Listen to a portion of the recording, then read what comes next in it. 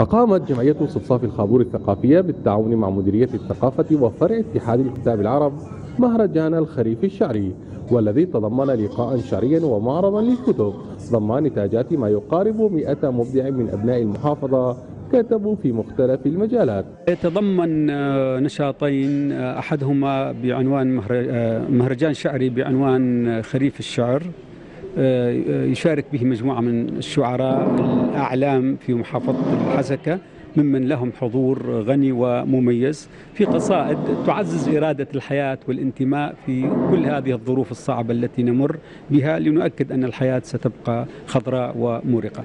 النشاط الثاني وهو نشاط هام جدا وهو أول نشاط يقدم في هذا المضمار هو نشاط توثيقي وثقنا به ذاكرة الحياة الأدبية في محافظة الحسكة منذ أواخر الخمسينات وحتى اليوم. نتمنى من التعاون بشكل كبير لإحياء الثقافة في جميع المجالات مع المنظمات والجمعيات المهتمة في الشأن الثقافي. هذه النشاطات تجلب الحميمية وتجدد المحبة والوصال والتواؤم ونتمنى رغم الظروف المحيطة أن تستمر مثل هذه اللقاءات الجميلة.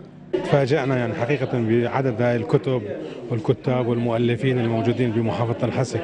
الحقيقة شيء يعني مفاجئ. تقريبا عدد المؤلفين اللي موجودين يعني رقم لا يستهان به. وهي حقيقة أن دل عن شيء يدل على ثقافة المحافظة وأبنائها. وحفل اللقاء الشعري الذي أقيم على خشبة مسرح المركز الثقافي العربي بمدينة الحسكة بقصائد لعدد من شعراء المحافظة. تنوعت مواضيعها ما بين الوطني والغزلي والوجداني ويعتبر معرض الكتاب أول نشاط توثيقي يقدم في هذا المضمار. تم من خلاله توثيق جزء كبير من ذاكرة الحياة الأدبية في محافظة الحسكة. منذ نهاية خمسينيات القرن الماضي عبر عرض مؤلفات هؤلاء الأدباء والكتاب من أبناء محافظة الحسكة. أحمد الحمدوش للإخبارية السورية الحسكة.